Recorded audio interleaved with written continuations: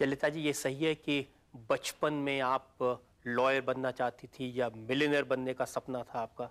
Yes my dream was to become a lawyer and if I had been allowed to study and have my way I would have been up there in the legal firmament along with uh, Nani Palkhivala mister Ram Jethmalani mister F S Nariman mister Kapil Sibal and several other eminent leading lights, leading luminaries in the legal profession today.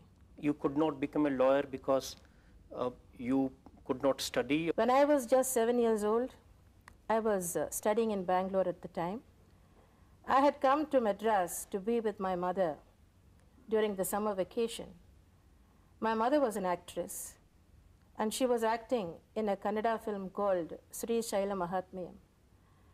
I had gone to the studios to be with my mother, and the child artist who was to play Goddess Parvati fell ill and could not turn up for shooting that day.